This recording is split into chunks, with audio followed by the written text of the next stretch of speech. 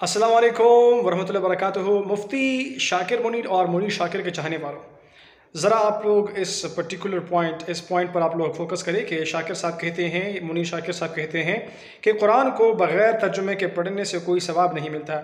भाई, इसकी बात कहाँ तक सही है और कहाँ तक गलत है, आप लोग ज़रा पहला इसका क्लिप सुने, फिर उसके बाद जो रेफरेंस मैं आप लोगों को पेश कर रहा हूँ, वो भी सुने। और हक को भी सुना करें, जो वो आप लोगों के सामने बैठे हुए उनके खिदमत आप लोगों के सामने हैं, ज़रा उसको सुना करें। तो खोई चे तिलावत देते हुई चे कुरान वाय सुबहान अल्लाह वो भी हम दी सुबहान अल्लाह अल्लाह दुमरायत में हुई रनन में हो। योरो मुफ्ती से वही ची सवाब न मिलेगी ची माना न कोई अंत के तर्जमे से पढ़ने के अलग फ़जाइल हैं और वैसे ही तिलावत के अलग फ़जाइल हैं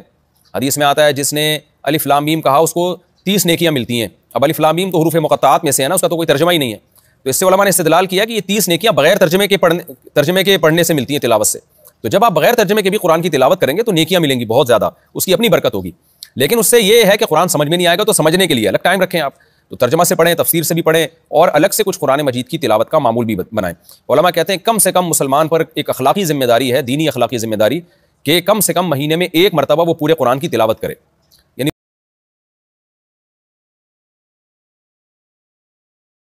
ज़ाहिर सी बात है, और बिल्कुल ये बात वाजह है कि एक वक्त आएगा और वक्त वो आ गया है कि बिल्कुल एक फ़ालतू सी बात और एक फ़ालतू सा लोग जो है, फ़ालतू से लोग, वो उनकी प्रचार होगी, उनकी बातें बहुत तेज़ी से पेश की जाएगी लोगों के सामने और एक गलत बात की जो प्रचार है, वो बहुत तेज़ी से होगी। तो खुदा रला का खौफ करें और इन बातों पर ज़रा सा आप लोग गौर फ़िक्र कीजिएगा।